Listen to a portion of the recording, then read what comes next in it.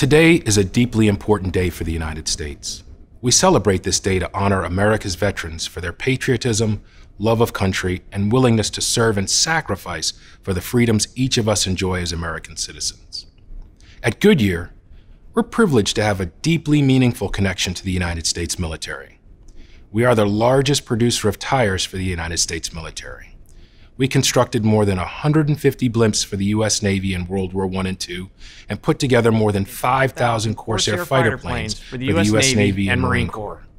We recognize and are deeply humbled by our powerful intersection and history with the U.S. Armed Forces.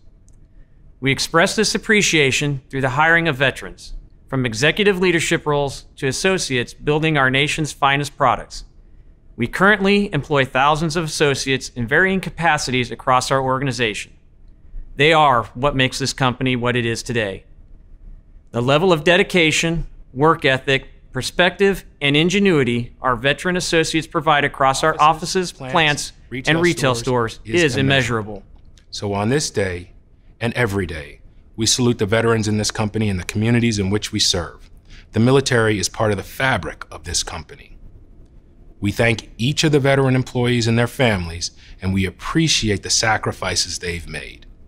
Very respectfully, Tom Peeples, Senior Technical Project Manager, Lieutenant, United States Navy retired.